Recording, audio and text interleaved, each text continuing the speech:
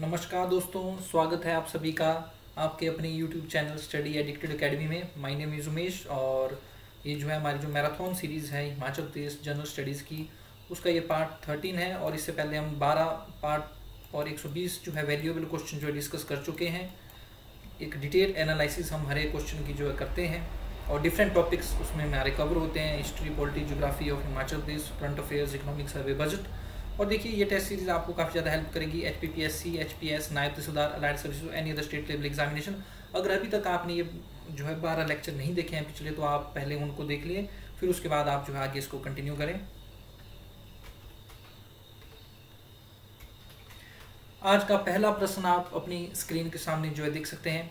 तो देखिए, इसमें आपसे पूछा गया है safe city project under the Nirbhaya fund propose to be executed in which of the following district of Himachal Pradesh तो जो निर्भया जो निधि है, इसके अंतर्गत सुरक्षित शहर परियोजना तो सेफ़ सिटी प्रोजेक्ट इसके तहत जो चलाया गया है तो सेफ़ सिटी प्रोजेक्ट जो निर्भया फंड के तहत है, उसमें हिमाचल प्रदेश के किस ज़िले में जो है, इसको जो है क्रियावंतित करने का जो प्रस्ताव रखा गया है तो आप ध्यान रखना, सेफ़ सिटी प्रोजेक्ट जो कि निर्भया फंड के तहत है, इसको एग्जीक्यूट करने की जो बात है, ये की जा रही है मंडी डिस्ट्रिक्ट में। तो मंडी डिस्ट्रिक्ट में इसको जो एग्जीक्यूट किया जा रहा है, बहुत ही महत्वपूर्ण देखिए, निर्भया निर्भया जो है नाम है 2012 में दिल्ली जो है गैंगरेप केस हुआ।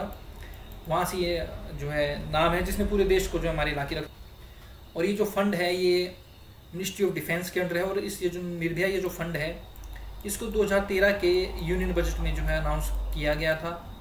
तो इसके तहत जो है सेफ्टी ऑफ़ वुमेन और उनकी डिग्निटी को प्रोजेक्ट करने से रिलेटेड जो प्रोजेक्ट चलाए जाते हैं। तो बहुत ही महत्वपूर्ण क्वेश्चन हो जाता है। तो safe city project Nirbhaya fund के तहत जो चलाया जा रहा है और हिमाचल प्रदेश में इसमें मंडी डिस्ट्रिक्ट में इसको जो एग्जीक्यूट किया जा रहा है। तो देखिए, आप ये द ट्रिब्यून का न्यूज़ आर्टिकल देख सकते हैं। तो इसमें जो सेफ़ सिटी प्रोजेक्ट है, इसको प्रपोज किया गया तो executive Mandi under the Nirbhaya fund तो इसमें इंश्योर की जाएगी सेफ्टी ऑफ़ वुमेन इसके साथ साथ स्मार्ट सॉल्यूशन जो प्रोवाइड की जाएगी, ताकि बेटर जो है ट्रैफ़िक मैनेजमेंट की जा सके। और देखिए, हिमाचल प्रदेश में मैक्सिमम जो सेंट्रल जो स्पॉन्सर स्कीम होती है, वो नाइन्टी रेस टू टेन में होती है। यानी कि अगर सौ रुपये स्कीम में खर्च होगा तो नब्बे रुपये सेंटर देगा और दस रुपये हिमाचल प्रदेश सरकार खर्च करेगी। और देखिए, इसमें ये परिकल्पना की गई है कि इसमें हम डेवलपमेंट करेंगे इम्प्लीमेंटेशन करेंगे और ऑपरेशन करेंगे CCTV based surveillance system for Mandi और सीसीटीवी की फुल फॉर्म होती है आपकी कॉम्पैक्ट कैमरा टेलीविज़न और latest technology such as AI based जो है कैमरा इंफ्रास्ट्रक्चर जो है डेवलप किया जाएगा। ताकि जो है मॉनिटरिंग किया जा सके और स्टोरेज किया जा सके डाटा को। और इसमें देखिए एक ऐसा सिस्टम डेवलप किया, कर, किया जाएगा, जो हेल्प करेगा in providing assistance to women तो जो भी महिलाएँ हैं या लड़कियाँ हैं, उनको इसमें सहायता प्रोवाइड की जाएगी। इसके साथ साथ जो सीनियर सिटीजन हैं, उनको भी इसमें कवर किया जाएगा किसी भी प्रकार की आपातकालीन स्थिति में। इसके साथ साथ स्मूथ मूवमेंट जो एम्बुलेंसेज की इसमें देखी जाएगी, और कोई भी पुलिस वैन या फायर इंजन से उनकी भी स्मूथ मूवमेंट्स इसमें जो कराई जाएगी। और ये देखिए हेल्प करेगा पुलिस को in checking the crime against women तो वुमेन इम्पावरमेंट के ऊपर भी ये वर्क करेगा, महिला सशक्तिकरण के ऊपर, और मेंटेनिंग किया जाएगा इसमें लॉ एंड ऑर्डर और ट्रैफ़िक मैनेजमेंट भी इसमें जो इम्प्रूव की जाएगी। और देखिए, बाकी अदर जो स्टेट जो रहती है, हिमाचल प्रदेश को छोड़ के जो जनरल स्टेट है, जैसे महाराष्ट्र है, कर्नाटका है, वहाँ पर इसके तहत सेफ़ सिटी प्रोजेक्ट के तहत कोई भी अगर जो है सिटी कवर की जाती है तो वहाँ पर funding pattern sixty to forty यानी कि सौ रुपये अगर खर्च हो रहे हैं तो साठ सेंटर देगा और चालीस वहाँ की सरकार देगी। और दिल्ली में जो देखिए, बहुत महत्वपूर्ण जानकारी है, दिल्ली में जो सेफ़ सिटी जो प्रोजेक्ट जो चलाया जा रहा है, ये सारा का सारा केंद्र सरकार के द्वारा ही फंड किया जा रहा है। अधिक जानकारी देखिए, आप स्क्रीन पाउज करके जो है यहाँ पर भी पढ़ सकते हैं। और देखिए, कुछ कई बार एग्जामिनेशन में आपसे पूछ लिया जाएगा निर्भया मिसाइल के बारे में। एक मिसाइल का नाम भी निर्भया रखा गया है। और निर्भया जो मिसाइल है, ये सब सोनी क्रूज मिसाइल है। थोड़ी सी एक्स्ट्रा इन्फॉर्मेशन आपके लिए सब सोनिक क्रूज मिसाइल है आपकी निर्भया। जबकि जो ब्रह्मोस है, वो सुपर सोनिक क्रूज मिसाइल है। तो देखिए निर्भया फंड के बारे में आप विकीपीडिया का एक आर्टिकल पढ़ सकते हैं। तो देखिए निर्भया फंड जो Indian rupees ten billion dollar का है कि ये जो कॉर्प्स है, आप ध्यान रखना, एक बिलियन सौ करोड़ के बराबर होता है तो दस बिलियन जो एक हज़ार करोड़ हो जाएँगे। इसको जो हमारी भारत की सरकार के द्वारा जो तेरह के जो यूनियन बजट है, उसमें अनाउंस किया गया था।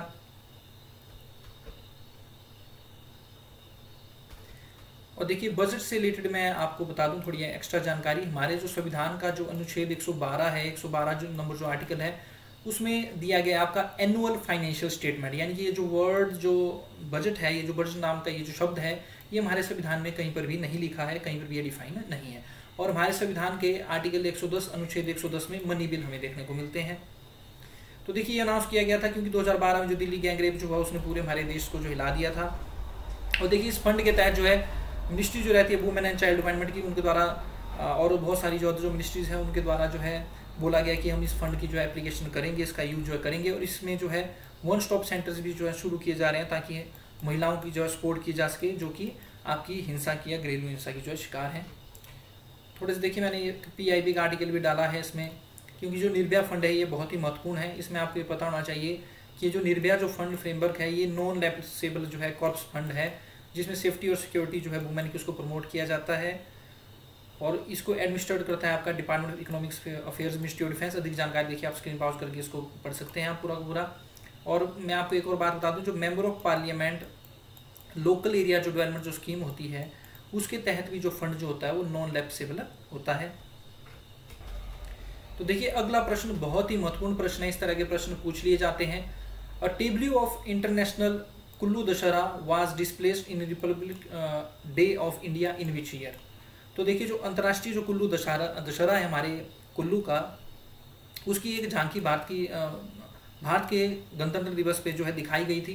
तो हमने ये बताना है कि ये किस वर्ष जो है दिखाई गई थी? तो देखिए आप ध्यान रखना, दो हज़ार बीस का जो हमने गणतंत्र दिवस जो है मनाया, राजपथ पे जिसकी परेड होती है दिल्ली में तो इस दौरान जो है हमारे अंतर्राष्ट्रीय कुल्लू दशहरे की झांकी जो है यहाँ पर जो दिखाई गई थी। और देखिए कुल्लू के दशहरा के बारे में आपको पहले बता चुका हूँ कि ये जो है राजा जगत सिंह जी के द्वारा जो शुरू किया गया था और दामोदर दास जी के द्वारा अयोध्या से जो है भगवान रघुनाथ जी की जो है आइडियल जो मूर्ति जो है लाई गई थी और उसके बाद इसका जो है आरंभ जो है सतारवीं शताब्दी में जो है हुआ था तो देखिए आप न्यूज़ आर्टिकल्स भी देख सकते हैं तो ये कुल्लू दशहरा से रिलेटेड जो है न्यूज़ आर्टिकल है तो देखिए इस जो फेयर है ये जो मेला है इसका सतारवीं शताब्दी में जो है इसका जो है शुभारंभ हुआ था। इंस्टॉलेशन हुई थी आइडियल ऑफ़ भगवान रघुनाथ जी की ऑन इज़ थ्रोन और राजा जगत सिंह उस दौरान जो है राजा थे और दामोदर दास जी के द्वारा जो है ये जो मूर्ति है भगवान रघुनाथ की, इसको कुल्लू लाया गया था। तो देखिए, अगला प्रश्न आप अपनी स्क्रीन के सामने देख सकते हैं। देखिए, इसमें 2021 का करंट अफेयर मैंने उठाया हुआ है। Who won the Padmashri award 2021 from Himachal Pradesh ठीक है? तो हिमाचल प्रदेश से पद्मश्री पुरस्कार 2021 किसने जीता है? तो देखिए, आपके ऑप्शन हैं। तो देखिए 2021 का जो पद्मश्री, जो हिमाचल प्रदेश से जो मिला था, ये थे करतार सिंह शोंकले। तो करतार सिंह शोंकले जी को ये जो है मिला हुआ है। और मैं थोड़ा सा आपको और बता दूँ 2022 में दो पर्सन को जो है हिमाचल से जो है पद्मश्री जो है मिला। तो एक का नाम है आपका दलिता वकील। ये देखिए, आपने नाम ज़रूर मेमोराइज कर लेने हैं, क्योंकि ये बहुत ही महत्वपूर्ण है। ललिता वकील जी को मिला है। ये जो है क्राफ्ट पर्सन है और इनके द्वारा जो है चंबा रुमाल की कंजर्वेशन और उसकी अपलिफमेंट और प्रमोशन में जो हेल्प की गई है। और और इसके साथ 2022 में मिला था विद्यानंद शरीक को। तो ये दो नाम आपने ज़रूर याद रखने विद्यानंद शरीक। तो ये दो नाम हैं ललिता वकील और विद्यानंद शरीक। इनको मिला है 2022 का पद्मश्री अवार्ड हिमाचल प्रदेश में और विद्यानंद शरीक एक जो है आपके आर्टिस्ट हैं। और 2023 का अगर मैं बात करूँ अभी हाल ही में रिसेंटली जो है, नेकराम शर्मा जो कि मंडी ज़िले से जो बिलोंग करते हैं, इनको जो ऑर्गेनिक जो फ़ार्मिंग है, उसको प्रमोट करने के लिए एग्रीकल्चर के फ़ील्ड में जो है, दो में पद्मश्री जो मिला हुआ है। तो देखिए हाइएस्ट जो सिविलियन अवार्ड है इंडिया में, वो भारत रत्न है, उसके बाद पद्म विभूषण है, फिर पद्म भूषण है और उसके बाद पद्मश्री आता है। तो फोर्थ हाइएस्ट सिविलियन अवार्ड है पद्मश्री और उन्नीस से ये अवार्ड जो है हिमाचल हमारे भारत में जो दिए जा रहे हैं। तो ये कर, जो आर्टिशन है करतार सिंह सोखले इनके द्वारा जो है मिनिएचर मिनिएचर होता है मतलब छोटे स्केल के ऊपर छोटी जो है इनके द्वारा जो है हिस्टोरिकल बिल्डिंग्स जो है बना दी जाती है और सेलिब्रिटीज़ की भी छोटी छोटी मिनिएचर जो बना देते हैं। इन ग्लास बोटल्स ग्लास बोटल्स में ये बनाते हैं ये बहुत ही खतरनाक जो है और अच्छे मतलब विचित्र सा इनका जो है ये आर्ट है। ये आप एक फ़ाइल फ़ोटो देख सकते हैं किस तरह से ये बोतल के अंदर ही इस तरह से जो मिनिएचर जो है डिफरेंट जो प्रतिमाएँ जो है बना देते हैं बोतल के अंदर।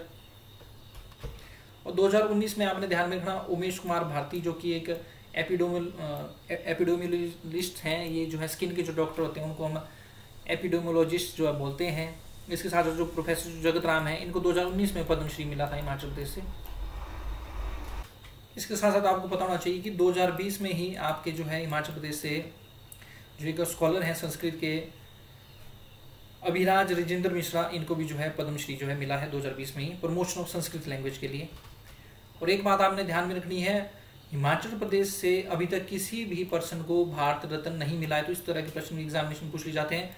पद्म विभूषण आज तक सिर्फ़ और सिर्फ़ जो है एक ही पर्सन को जो है मिला है। ये 1999 में जो है पद्म विभूषण मिला था श्री ब्रज कुमार नेहरू। तो डायरेक्ट आपसे क्वेश्चन पूछा जा सकता है कि only Padma Vibhushan awarded person from Himachal Pradesh तो ये श्री ब्रज कुमार नेहरू है, बहुत ही महत्वपूर्ण जानकारी। इस तरह क्वेश्चन आप एग्जामिनेशन में देख सकते हैं।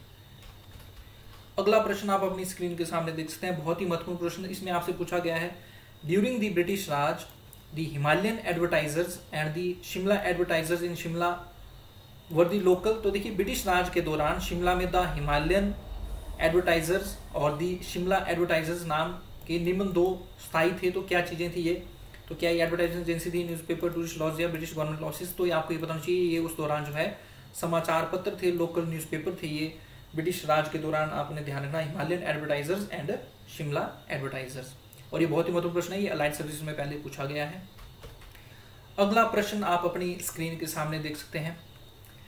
Who conceived the idea of construction of viceregal lodge in Shimla तो शिमला में वाइस रीगल जो लॉज है, इसको बनाने का विचार किस अंग्रेज़ के मन में आया था? तो देखिए, इसको बनाने का जो विचार है ये लॉर्ड लिटन के मन में जो है आया था। और देखिए, ये जो वाइस रीगल जो लॉज है, इसका निर्माण जो है अठारह से अठारह के बीच में हुआ था। ये आपने जो है ध्यान में रखना है। अठारह से इसका निर्माण शुरू हुआ और अठारह में ये जो कंप्लीट हुआ। और इसके जो आर्किटेक्ट थे हेनरी इरविन थे, जो जो गेटी थिएटर के जो आर्किटेक्ट थे, वही इसके जो है आर्किटेक्ट थे। आप ध्यान रखना हेनरी इरविन जो है, इसके जो है आर्किटेक्ट थे ओके हेनरी इरविन। और आपको ये भी पता होना चाहिए कि ये जो है Jacobethan style of temple architecture में जो है बना है। और ये जो वाइस रीगल जो लॉज है, यहीं पर ही 1945 में शिमला कॉन्फ्रेंस हुई थी। बहुत ही महत्वपूर्ण जो 1945 की जो शिमला जो कॉन्फ्रेंस थी, वो भी वाइस रीगल लॉज में हुई थी। और यहाँ पर जो है भारत के बंटवारे का जो है निर्णय जो है लिया गया था। तो बहुत ही महत्वपूर्ण और इंडिपेंडेंस के बाद पहले इसका नाम जो है राष्ट्रपति निवास पड़ा। लेकिन बाद में जो है राष्ट्रपति जी के द्वारा इसको जो है Indian Institute of Advance Studies को जो है इसको जो डोनेट कर दिया गया। तो आज की डेट में आपको यहाँ पर जो Indian Institute of Advance Studies यहाँ पर जो देखने को आपको मिलेगा। नेक्स्ट है who authored the book Himachal Pradesh area and language बहुत ही महत्वपूर्ण बुक है ये। हिमाचल प्रदेश क्षेत्र और भाषा नामक पुस्तक के रचयिता कौन है? इसके लेखक कौन है? तो देखिए इसका राइट आंसर हो जाएगा। B doctor Y S Parmar जो है, लेखक हैं आपके हिमाचल प्रदेश एरियन लैंग्वेज बहुत ही महत्वपूर्ण। देखिए doctor Y S Parmar ji के बारे में आप सबने जो है सुना होगा, इनको जो है हिमाचल प्रदेश का निर्माता भी कहा जाता है। इनका जन्म जो है चार अगस्त 1906 को जो है चानहलग जो गाँव है, near Bagthan in state of Sirmaur में हुआ था। तो ध्यान रखना आपने, इस प्लेस का तो ज़रूर आप जो है याद रखना, क्योंकि एग्जामिनेशन में इस तरह क्वेश्चन भी पूछे। जा सकते हैं। तो चन हलाग जो विलेज है, सिरमौर डिस्ट्रिक्ट में और ये राजपूत फैमिली में इनका जो है जन्म हुआ था। और जो क्रिश्चियन जो कॉलेज है लाहौर में, वहाँ पर ये पढ़े थे और बाद में उन्नीस में लखनऊ का जो विश्वविद्यालय है, लखनऊ की जो यूनिवर्सिटी है, यहाँ से इनको जो है पीएचडी की डिग्री मिली थी। और एक बहुत ही महत्वपूर्ण जानकारी मैं आपको बता दूँ 1946 में जो हमारी संविधान सभा बनी थी, हमारी कॉन्स्टिट्यूंट असेंबली बनी थी, जिसकी पहली मीटिंग पहली मीटिंग जिसकी जो है 9 दिसंबर 1946 को हुई थी, ये भी आप ध्यान रखना संविधान सभा की पहली जो मीटिंग है, पहली जो सभा है, इसकी पहली बैठक जो है नौ दिसंबर उन्नीस सौ छियालीस को जो है हुई थी। तो इसमें doctor Y S Parmar ji के द्वारा जो है हिमाचल प्रदेश को जो है रिप्रेजेंट किया था। तो देखिए, पहली बार जो है यशवंत सिंह परमार जी जो हिमाचल प्रदेश के जो है मुख्यमंत्री 8 मार्च उन्नीस से इकतीस अक्टूबर उन्नीस तक बने।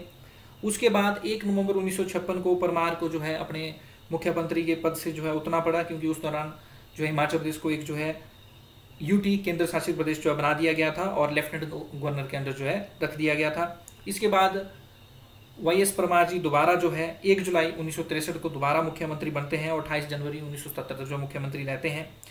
हिमाचल प्रदेश एरिया और लैंग्वेज जो है, ये बहुत ही महत्वपूर्ण जो है बुक है हमारे पहले जो मुख्यमंत्री थे हिमाचल प्रदेश के वाई एस परमार जी के द्वारा, अदर जो बुक है इनकी मैं पहले भी आपको प्रीवियस लेक्चर में बता चुका हूँ। मेरे प्रीवियस लेक्चर्स भी आप इस सीरीज़ के ज़रूर देख लें।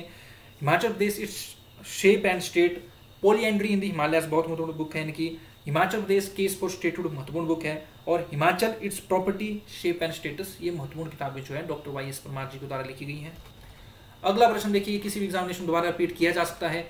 Which industrial area of the state is the first to use green fuel तो हिमाचल प्रदेश का कौन सा औद्योगिक क्षेत्र है जहाँ पर राज्य का पहला हरित ऊर्जा प्रयोग किया गया है? तो ये आप ध्यान जो ताहिलवाल जो इंडस्ट्रियल एरिया है, उन्ना ज़िले का, ये जो है पहला जो है क्षेत्र बन चुका है इंडस्ट्रियल एरिया बन चुका है, औद्योगिक क्षेत्र बन चुका है हिमाचल प्रदेश का, जहाँ पर ग्रीन फ्यूल या हरित ऊर्जा सबसे पहले प्रयोग हुई है। अगला प्रश्न देखिए, मैं पहले ही प्रीवियस लेक्चर में डिस्कस कर चुका हूँ। Which of the following combination is correct in terms of government sheep breeding farm in Himachal Pradesh तो देखिए हिमाचल प्रदेश में निम्नलिखित से कौन सा संयोजन मेल हिमाचल प्रदेश में सरकारी भेड़ प्रजनन फार्म के संदर्भ में सही है? तो ये जोड़े दिए गए हैं। ये चार प्लेसेस के नाम है। तो राइट आंसर वो होगा, जहाँ पर चारों के चारों जो स्थान लिखे गए हैं, वहाँ पर शिप ब्रीडिंग फार्म आपका होना चाहिए। भेड़ प्रजनन जो है फार्म होना चाहिए। तो देखिए जोड़ी शिमला में है। इसके बाद हमारे सरोल चंबा में भी है, ताल हमीरपुर में भी है, और करछम किन्नौर में भी है। तो ये फ़र्स्ट जो जोड़ा है हमारा, ये जो ठीक हो जाएगा। नगवाई में है, लेकिन जो आपका जरोल और बैरी है और सराहना यहाँ पर नहीं है, माजरा में नहीं है, कंडवारी में नहीं है बजौरा में नहीं है उदयपुर में नहीं है तो राइट आंसर आपका ए हो जाएगा। और करछम ऐसा प्लेस है जहाँ पर जो बासपा या जो सांगला जो नदी है, ये सतलुज रिवर के साथ जो है मिल जाती है। अगला प्रश्न with the objective to preserve the Spiti breeds of horses government of Himachal Pradesh has established horse breeding farm at तो देखिए स्पीति नस्ल के घोड़ों की प्रजाति को संरक्षित रखने के उद्देश्य से हिमाचल प्रदेश सरकार ने किस स्थान पर घोड़ा प्रजनन प्रक्षेत्र स्थापित किया है? तो horse breeding farm Himachal Pradesh में कहाँ है? सिंपली मैं बात करूँ तो देखिए, लरी लाहौल स्पीति में है। तो लरी लाहौल स्पीति में जो है हॉर्स ब्रीडिंग फार्म आपको देखने को मिलेगा, जो कि जहाँ पर जो है स्पीति ब्रीड जो हॉर्सेज की जो प्रोटेक्ट की जाती है। अगला प्रश्न देखिए, राष्ट्रीय उच्चतर शिक्षा अभियान से रिलेटेड आपसे पूछा गया है। रूसा से रिलेटेड इसमें फंडिंग पैटर्न आपने बताना है किस तरह से पैसा खर्च होगा। हमारे हिमाचल प्रदेश में। तो देखिए जनरल कैटेगरीज जो स्टेट्स हैं, जैसे महाराष्ट्र, कर्नाटक वगैरह होगी तो सिक्सटी डेस्ट टू फोर्टी है, यानी कि अगर सौ रुपये इस स्कीम में खर्च होंगे तो साठ जो है केंद्र सरकार देगी और चालीस राज्य देगी। लेकिन हिमाचल प्रदेश के केस में आप ध्यान रखना मैक्सिमम जो स्कीम रहती है नाइन्टी टू टेन में ही ये जो है इंप्लीमेंट होती है तो राइट आंसर आपका जो है ए आपको जो देखने को मिल जाएगा। नाइन्टी टू टेन में होगा, यानी कि अगर रूसा में सौ रुपये अगर खर्च हो रहे हैं तो नब्बे रुपये जो है केंद्र सरकार दे रही है, और सिर्फ़ और सिर्फ़ दस रुपये जो इसमें जो हमारी राज्य सरकार जो दे रही है। और रूसा जो है हमारे स्टेट में जो है दो हज़ार तेरह से जो इम्प्लीमेंट किया गया है। तो बहुत ही महत्वपूर्ण जानकारी। So that's the end of this video friends इसके साथ हमने 130 वैल्यूएबल क्वेश्चंस आपके साथ जो डिस्कस कर लिए हैं। ये मैराथन सीरीज़ है। सुबह आठ बजे ये आपको जो है रोज मिल जाती है। तो अगर आप चाहते हैं कि मैं इस मैराथन सीरीज़ को कंटिन्यू रखूँ तो आप हमारे चैनल को ज़्यादा से ज़्यादा लाइक सब्सक्राइब और शेयर करते रहिए। कोई भी आपकी क्योरी है, अगर आपको वीडियो पसंद आती है तो आप कमेंट में जो है लिख सकते हैं। आप वीडियोज़ को लाइक कर सकते हैं। लाइक करते रहिए कमेंट्स भी करते रहिए और दूसरों की हेल्प भी करते रहिए। आपने सिंपल बस शेयर करना होता है ताकि किसी नीडी पर्सन की भी हेल्प हो सके। और देखिए, इंसान इंसान के काम आता है we rise by lifting others thanks thanks very much for listening जय हिंद, जय भारत, जय हिंद।